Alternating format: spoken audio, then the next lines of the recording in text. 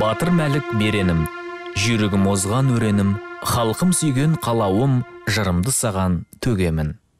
Жыралабы жамбыл ақын батыр інісі мәлік ғабдуллинге осылай деп өлеңін арнап ағынан жарылған еді. Міне содан бері ғасырға жуық уақыт өтсе де осы бір өлең жолдарының мәні де мағынасы да маңыздылығын жоғалтқан емес. Себебі мәлік ғабдуллин шын мәнісінде өзіне көрсетілген барлық құрмет пен даңққа лайық жан еді. Батыр 1915 жылы қаракүзде қазіргі ақмола облысы зеренді ауданына қарасты қойсалған ауылында дүниеге келді. Осы ауыл бұл қойсалған ауылы. Қойсалған деген ауылдың аты негізі қой сау қалған дегеннен шыққан. Ертеде бір байдың көп қойы шығып кетіп қатты боранда сол осы орманды пайдаланып аман қалған екен. Содан қой сау қалған деп қойған. Осы орман тауларда қырларда ойнап сондай шынығып атқа шауып аң аулап солайынан өсті ол кісі. Бекен деген атасы болған ол кісі сондай аңшы мерген болған сол кісінің соңына еріп өскен екен. Ғабдолланың мәлікке дейін де тоғыз баласы болды. Алайда сол балалардың бәрі ерте шетінеп кетіп отырды. Сондықтан осыншама құрсақтан соң өмірге келген мәліктің тілеуін ата анасы ғана емес барша ауыл тілегендей болды. Ол алладан тілеп алған жалғыз ұлы. Енді жаңа таяғатайымның айтуы бойынша мәлік ағамыз туар кезде бекен атамыз бір қасқырдың арланын алған екен. Алған екен содан інісі ғабдуллаға әкеліп берген екен. Алла тағала береді бізге. Құдайға шүкір енді бүкіл қазан қазағымыздың мақтанышы жалғыз біздің жалғыз қой салғанның емес жалғыз қанайдың емес бүкіл қазағымыздың кешегі өткен кеңес одағының барлығының мақтанышы сол батыр ағамыз осы жерде туып өсті. Расында көп тілегі қабыл болып мәлік бала күнінен ақылды әрі алысқанды алып ұрып белдескенді шыдатпайтын қайсар бала болып өседі. Сегіз жасында ауылынан екі шақырым жерде орналасқан құлет ауылына мектепке барады. Онда бастауыш сыныпты аяқтап көкшетау қаласындағы жеті жылдық коммуна мектебіне қабылданады. Сәбит мұқанов ең алғашқы рет мына мәлікті көрген өзінің ә, естелігінде жазған.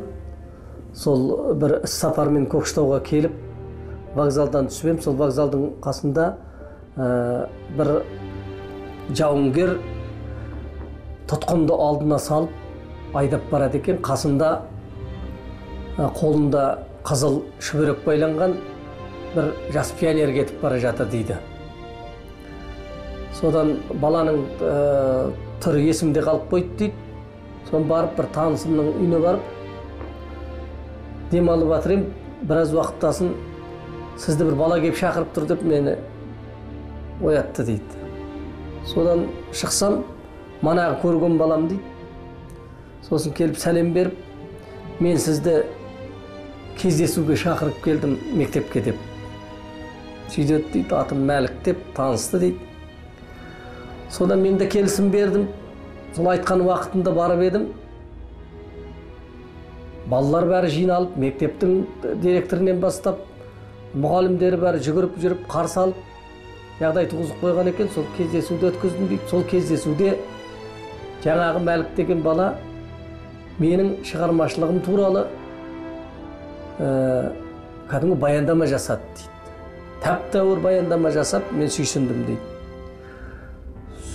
Сөйтіп барып оны алматыға оқуға шақырады. Арада көп уақыт өтпей ақ 14 жасар мәлік ғабдуллин барсам оқысам деп армандаған ел астанасы алматыға аяқ басады. Жасынан еті тірілігімен ол алматыға бастапқыда ауыл шаруашылығы институтының дайындық курсына оқуға келеді. Мәліктің үлкен қалада ә дегеннен ағалаш қайраткерлерімен жолығуы тағдырдың берген сыйы іспетті болады.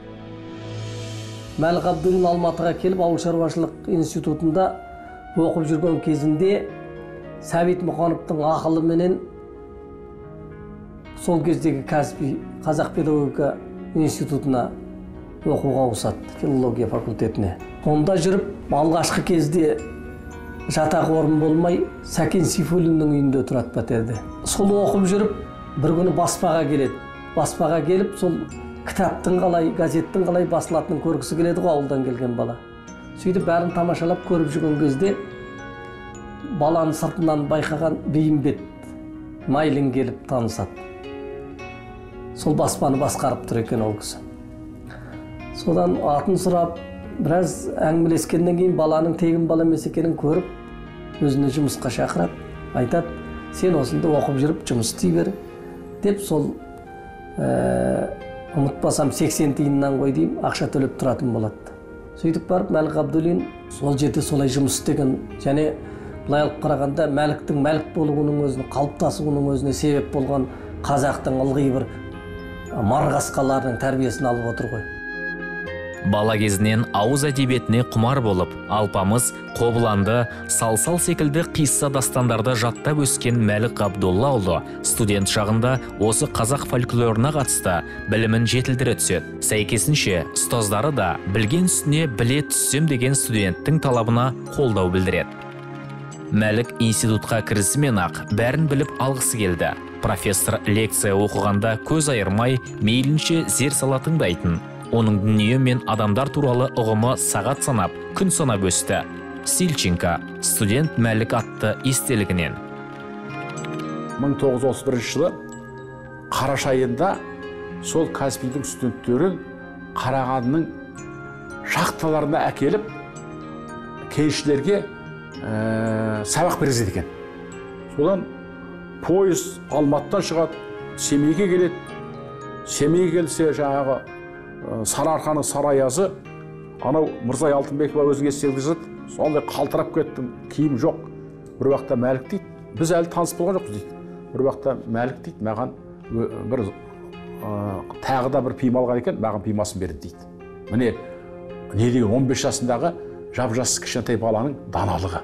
Содан мына ә, қарағандыға келіп бұлар 18-ші 20-ші шақтыда бұлар кеншілерге ағарту жұмыстарын жүргізеді.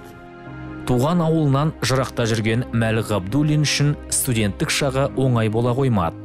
Бұл кезең қазақ халқының басына қара бұлт үйіріліп елді ашаршылық жайлаған нәубет жылдармен тұспа тұс келді. Бұғанасы бекей қоймаған жеткіншек үшін ең ауыры бірден әжесі мен анасынан және бауырынан айырылуы болды. Сұр өмір өлген анам тіріліп жылағанға келеме қалқатайым келші деп емшегін маған береме деп егілген мәлік еліне сол кезде жете алмай анасын ақтық сапарға шығарып сала алмағанына өмірінің соңына дейін өкініп өтті. Енді өзі жоқта ашты жылдар болғанда өзі жоқта анасы қайтыс болған ол кісінің қайда қалғанын ол кісі қай жерге зираты бар екенін білмей қалған. Соны өз аузымнан естігемін айтқанын сонда мен оны есіме алсам жылағым келеді ол кісінің айтқан әңгімелесі өте.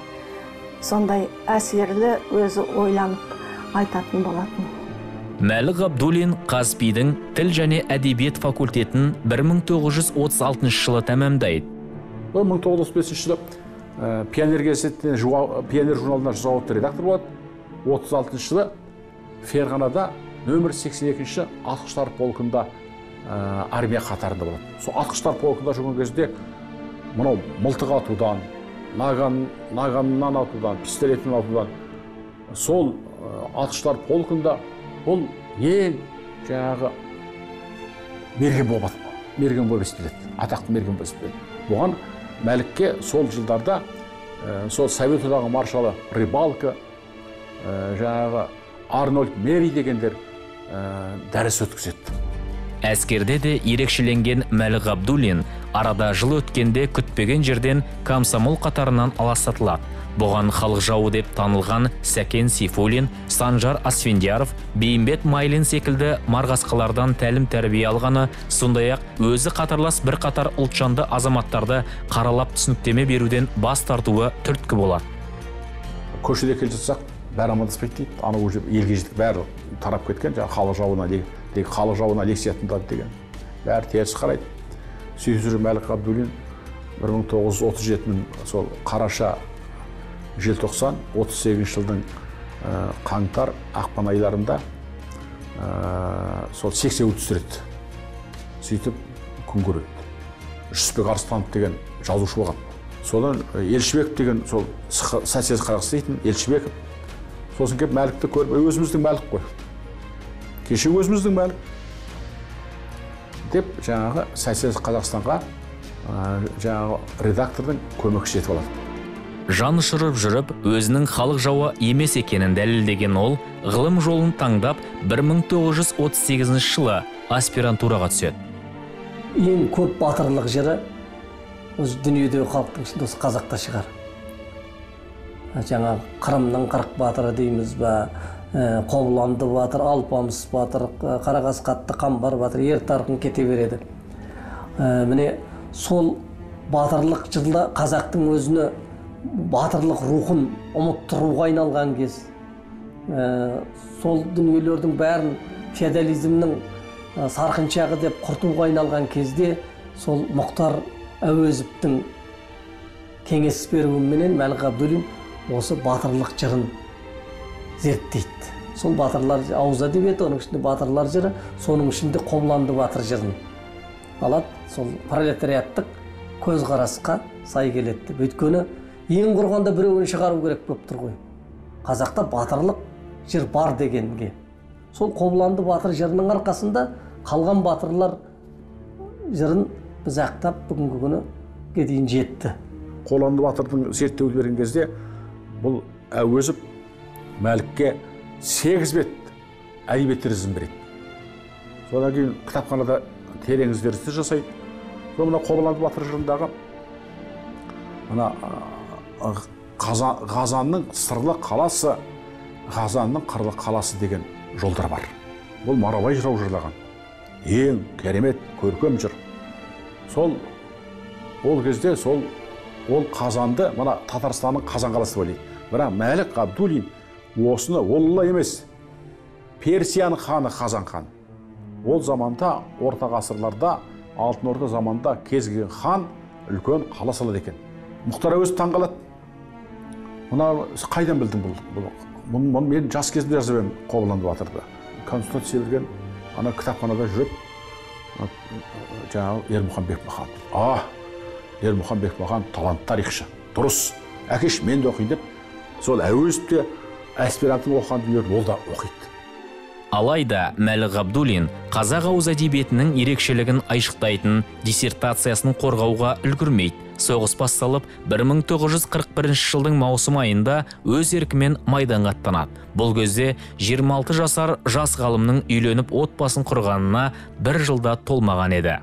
Соғыс басталғанда ауыл аспирантурада каспийдің институт бітіріп сосын аспирантураға кірді аспирант болып и тут соғыс басталды сразу ана военкоматқа барып доброволец панфиловский дивизиямен кетті а мен 21 декабрь сол 41 жылды вот келдім өз өмірім атым майдан қойды мәл ғабдуллин майданға алматыда жасақталған генерал иван панфилов басқаратын 316 атқыштар дивизиясының құрамында аттанады. Алғашқы күннен 45 батареяның саяси жетекшісі сонан соң екінші атқыштар батальонының комиссары полк үгітшісі болған мәлік ғабдуллин талай шайқаста қаһармандықтың асқан үлгісін көрсете білді. Соның ішінде мәскеу түбіндегі шайқастарда стратегиялық маңызы зор бородино селосын жаудан тазартуда жасаған батылдығы ерекше болды. Ол кісі политрук болған. Ол енді былайша айтқанда ең бір нағыз әлгі жауынгерлердің рухани жағын көтеруге соларға түсініктеме беру жағдайдың бүкіл мәнісін әсіресе мына қазақтарға қазақтардың көбі орысша білмеген. Оңға бұрылды солға бұрылды білмей барғандар бар ол жаққа мысалға. Соның көбі оққа да ұшқандар бар. Солардың арасында бүкіл үгіт насихат өз алдына солардың рухын көтеріп кішкене білгенін үйретіп ол кісі енді оңай болған жоқ. Сонда соғыстың алдыңғы шебінде ә, немістер фашистер шабуыл жасап жатырғанда байланыс үзіледі бұлар қалып қояды сол жаңағы майданның бір шебінде. А негізі кері шегіңдер деген приказ болғанмен оны бұлар естімейді. Бүкіл полк кейін шегініп кеткенде бұлар қалып қояды бұлардың ротасы. Оны кейін түсінеді қоршауға түсінгендер содан кейін бүкіл жауынгерлердің бәрін саққа қойып қойып бұл кісі барын салып етеді осы шепті не бұзу керек не өлу керек екінің бірі ғана. Жауға берілуге болмайды. Сонда бүкіл жарым күш мен жинап оның ішінен орманнан бұрын әлгі шегініске қашып келе жатқан солдаттардың барлығы қосылып біразы кәдімгідей адам жиналып сол кезде морозова деревнясы шабуылға алады сол жерде немістер оны ойламаған мындай күш бар екен сол жерден бәрін ойран ботқасын шығарып жаңағы деревняның штабына дейін оның енді өзінің жазып кеткен дерегі де бар анандай қоршаудан шығу ол күдересі бұлардың құжаттарын толтыра бастаған ғой. Толтырып қойған. Бәрі ерлікпен қаза тапты қоршауда қалғаннан кейін ондай қоршаудан шығу мүмкін емес деп орталық штабта барлығы құжаттарын толтырып ерлігімен қазаққа жіберейін дегенде панфилов тоқтатқан петр әлі де болса кішкене үмітімізді үзбей күтейік деп. Көрдіңіз ба өйткені мына жақта солай шешкен. Анандай қоршаудан шығу мүмкін емес. Бірақ сол қоршауды бұзып шығып тұр ғой. Панфилов дивизиясын алып қарасаңыз ә, бауыржан момышұлы да соның ішінде ә, төлеген тоқтаров соның ішінде балтабек жетпісбаев ә, мәлік ғабдуллин сол кездегі қазақ жауынгерлерінің ә, гимні болған әнұраны болған жас қазақ әнінің авторы біздің мына көкшетаулық рамазан елебаевтар. Бәрі сол бір құраманың ішінде неміспен соғысып ерлік жасаған бұлардың әрқайсысы батырлар еді. Мәлік ғабдуллин саяси жетекші ретінде үгіт насихатты асқан шеберлікпен жүргізе білді. Әсіресе оның сөздері қазақ жастарының рухын көтеріп көзсіз батырлыққа баруына ықпал етті. Тіпті төлеген тоқтаровтың өзі мәлік ғабдуллинді қанды көйлек майдандасы ғана емес ұстазындай пір тұтты мәлік аға құда жазайын менімен халқым мақтанатын бола ма? Сенімен біз мақтанамыз мәлік ғабдуллин мен төлеген тоқтаровқа ксро жоғары кеңесі президиумының жарлығымен 1943 жылдың 30 қаңтарында кеңес одағының батыры атағы берілді. Бұл атақпен қоса ленин ордені және золотая звезда медалі де қоса марапатталады. Осы 43 жылдың тамыз айында батыр гвардия майоры майданнан елге демалысқа жіберілді. Батырлық атақты да жұлдызды да тегіннен тегін лездетіп бере қойған жоқ. Оған бірден бір сол іздеушісі болған жоқтаушысы болған бауыржан момышұлы өзінің қанды көйлек майдандас досы ағасы бауыржан үлкен қамқорлық жасаған. Мәлік ғабдуллиннің бұл батыр атақ алуы бүкіл қазақ халқына той болды. Ә, сонау 43 жылы қазақстан компартиясының басшысы жұмабай шаяхметовтің өзі бас болып отырып қазақстанның интеллигенциясы мәлікті елге шақырады. Сол қой салған жерінде кәдімгі үй тігіп қарсы алады мәлік ғабдуллинді содан бастап бүкіл ақмола қаласында қарағанды қаласында алматы қаласында үлкен кездесулер өткізеді. Осы сапарда қартабыз жамбыл бабамыздан бата алады мектепке бармай тұрып білетінмін. Анау геройлықты алғаннан кейін менің әкем мынау ә, кезде ленин колхозы дейді қазір қошқарбай деген ауыл бар зеренді ауданында. Сонда соғыстан анау батырлық дәрежені алғаннан кейін елге жіберді ол кісіні мәкеңді сонда манағы ол кісіні мен әлі күнге дейін көзімде бала кез ғой ә, біздің үйге келді қошқарбайдан. Анау келгенде мынау ә, қой салған деген өзінің ауылынан келді. Қой салғаннан ол кезде зис пять деген машина бар. Ә, мынау кабинасы ағаштан жасалған кузов ағаштан. Кузовтың бәрінде мына қой салғанның кісілері енді ағайын туыстары ғой мына. Ә, мәкең ол жас кезі ғой шопырдың қасында оң жағында. Сол ең әуелі мынау айдарыл деген ауыл бар ол кезде забрыкпе дейтін. Содан келіп атпен шауып келе жатыр келе жатыр деп мәкеңді біздің үйден дәм ішті. Ел болып жиылып манағы сонда мені алдына алып еді сол кісі. Осылайша қазақ батырларын зерттей жүріп соғысқа аттанған мәлік ғабдуллин өзі де батырлық жырға арқау болды. Алғашқылардың бірі болып орыс жазушысы борис полевой эпостың туы деген очеркін жазып бүкіл кеңес халқынан сүйінші сұрады. Мәлік батыр әрі күшті ер жүрек қыр түлкісіндей айлакер ақ бөкендей сақ құлақ жаудүрсілін қырымнан білет темірдей қатты білектері неміс төбеттерін қырудан қалжыраған емес. Қанша қырса сонша күшейе береді үрейі ұшқан немістер мәлікті көрген жерден ақ зыта бастайды. Борис полевой правда газеті 1943 жыл. Мәлік ғабдуллин мен бауыржан момышұлы екеуі бір дивизияда болып бірінің ерлі- ерлігін бірі талай рет көрген. Мәлік ғабдуллиннің талай ерлігін өз көзімен көрген бауыржан момышұлы ел күйзелген кезінде ерлік еткен бауырым жау жағадан алғанда батырлық еткен бауырым ел намысын құрметтеп ер намысын ардақтап құтты болсын айтамын шын жүректен мәлігім деп өзінің қуаныш сезімін білдірген екен. Мәлік ғабдуллин тек қана кеңес одағының батыры емес ол сонымен қатар әскери публицист мәлік ғабдуллиннің сұрапыл жылдар ел намысы ер намысы алтын жұлдыз менің майдандас достарым деген еңбектері бар. Ол кітаптардың қай қайсысын алып оқысаңыз да ол ә, соғыста болып жатқан мәлік ғабдуллиннің бір өзінің әдеті болған екен. Соғыста өз көзімен көрген ерліктерді біреудің бір жауынгер жасаған ерлігін сол қағаз қалпында қойын дәптеріне жазып отырған. Сөйтіп мінекей кейіннен осы үлкен ә, кітап болып шыққан. Мәлік ғабдуллин Ә, қайда жүрсе де өзінің ұқыптылығымен ерекшеленген жан. Мінекей алдарыңызда мәлік ғабдуллиннің сақал мұрт алатын құралы. Ол соғыста жүрген кезінде тіпті қоршауда қалып қойған кезінде де өзінің қалтасында ұстап жүрген.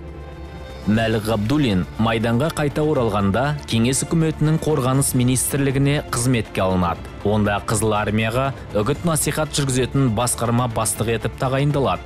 Бұл қызметті екі жылдай абыроймен атқарған мәлік ғабдуллаұлы талай қазақ жауынгерлерінің тиісті деңгейде бағасын алуына ықпал етеді Машук Маметова там страшный бой.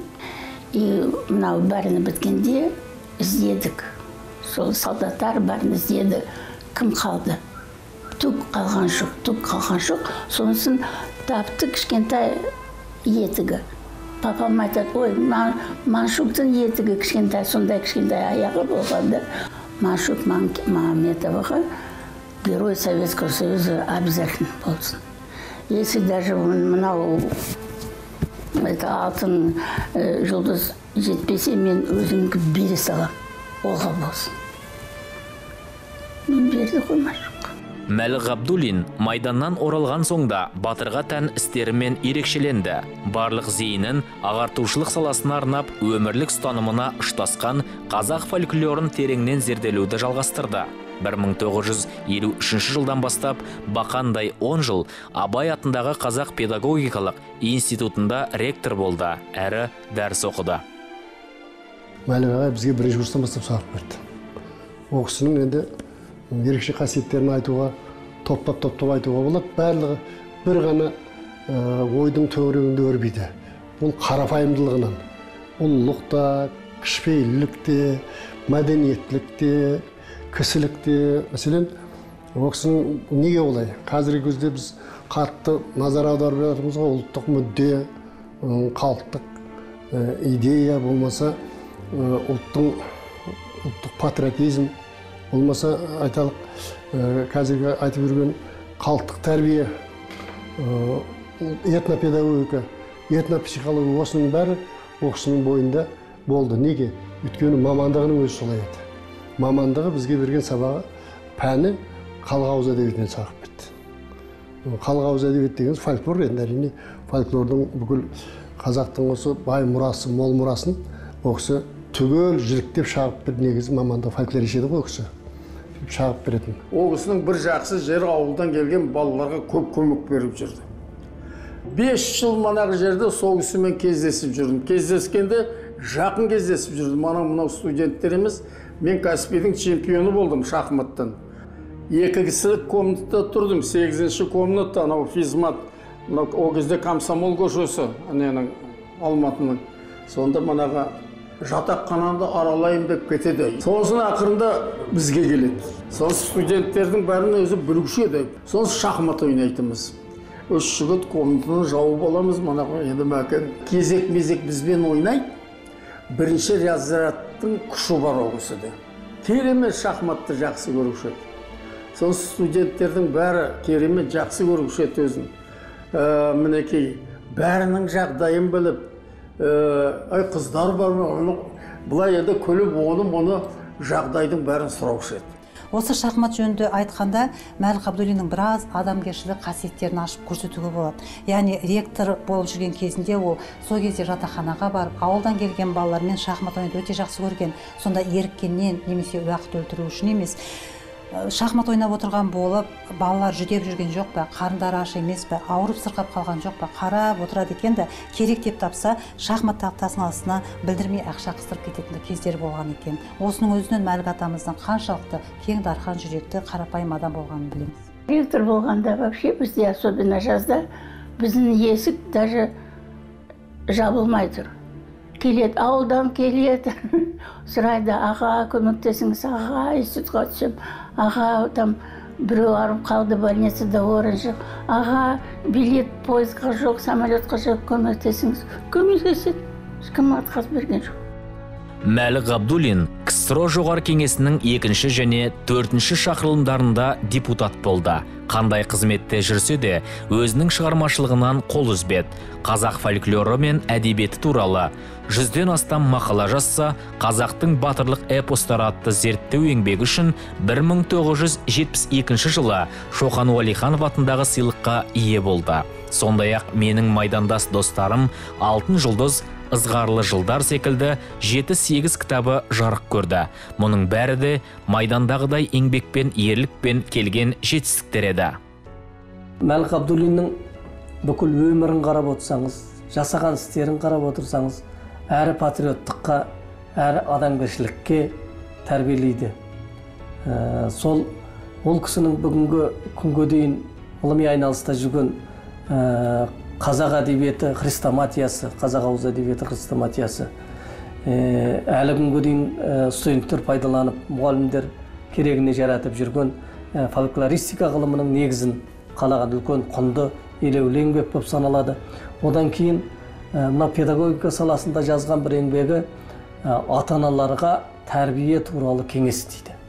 Сондай ұзын ырғасының кітабының оқып отырсаң қысқаша мазмұны баланы бесікке салғанда әлдейлеп қазақша ән айтып батырлар жырын жаттатып өсіру керек дейді. 1958 жылы қазақстанның жоғарғы оқу орындарына филология журналистика факультетіне арналған қазақ ауыз әдебиеті оқулығы күні бүгінге дейін міне қолданыста 1973 жылы. Одан артық не керек? Бұл кісінің бүкіл жаңағы шығармаларындағы ғажайып афористік сөзділері философиялық ойлары. Мына заманға қоғамға руханиятқа тарихқа қатысты пікірлері күні бүгінге дейін өмір қазақ халқының біртуар ұлы мәлік ғабдуллин өмірінің соңғы күніне дейін мұхтар әуезов атындағы өнер институтында фольклор бөлімінің меңгерушісі болып істеді. Олай дейтініміз ұлағатты ұстаз 1973 жылы екінші қаңтарда кенеттен көз жұмды. Қалың жаудан қамықпаған жүректің оңай тоқтай салғаны халықтың қабырғасын қайыстырды. Сағат бесте звондап тұр маған біздің үйде бір этот әйелі болған көмектесетін. Ол маған звондап жүгір папаға плохо мен прямо сондай жүгірдім алдымен регистратураға барып скорый вызов жасадым. Сонысын жүгіріп келсем жатыр. Уже ол диванда жатқан кабинада қарасам коверде жатыр. Папа не болды не болды уже и скорая помощь келіп врачтың скорой помощьтың қарап айтады уже все все моментальный бір секунд разрыв сердца мына жерде назар салып қарайтын болсаңыздар мәлік ғабдуллиннің жұмыс орны. Бұл жерде басатын машинкасы қойын дәптерлері күн, күн тізбесі және телефоны. Күнтізбедегі күнге назар салып қарасаңыздар екінші қаңтар деп тұр. Яғни 1973 жылы екінші қаңтарда мәлік ғабдуллин ойда жоқта жүрек ауруынан қайтыс болған. Соңғы сапарға шығарып салып тұрып белгілі ақын бүркіт ысқақов аяулы асыл қалпыңмен қазаға қалай қиярсың? Осынша биік даңқың мен табытқа қалай сиярсың? Қайран аға қош енді. Қоштаспасқа шара жоқ. Орның олқы бос енді. Толтырар оны шама жоқ деп өзінің қимастық сезімін білдірген екен. Мәлік ғабдуллин өмірін соғысқа дейінгі соғыс жылдарындағы және соғыстан кейінгі деп үш бөлікке бөліп осы жылдардағы ерен еңбектерін де бөлек бөлек дастан етуге тұрарлық. Бастысы өмірдің қандай өткелінен өтсе де ұлтына деген сүйіспеншілігі адамға деген адамгершілігі өн бойында үнемі кездесіп отырды